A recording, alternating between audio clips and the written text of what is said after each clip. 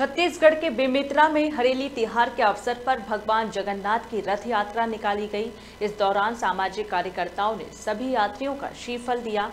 बता दें कि ये यात्रा आरंभ करने से पहले भक्तों ने माता कर्मा के मंदिर पहुंचकर आशीर्वाद प्राप्त किया। दरअसल, कर्मा माता को लेकर एक टेली फ़िल्म बनाई जा रही है, जिसे लेकर तैयारियाँ शुरू कर दी गई हैं।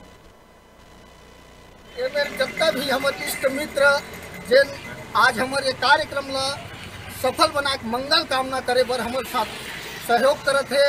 मैं आशा करत हूँ, आप मन के विश्वास में हम सब खड़े उतरबो छत्तीसगढ़ हमार साहु समाज के माध्यम से। एक सोच होते एक सामाजिक सोच होते जे इतना बढ़िया गिरा उठाए कि अपन जिन देवी है, आराध्य देवी और बारे में सब जीनी और बारे में पूरा चित्रांकन करके एक वीडियो के माध्यम से तो पूरा शूटिंग करे पर वह जात है।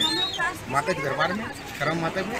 और निश्चय ही जिन शूटिंग होते बहुत बढ़िया ढंग से हुई। और हमार जिन में हम काम करते है वो पूरा हमारे आसपास के ही, हमारे बीच के ही हमारे सामाजिक बंधु हैं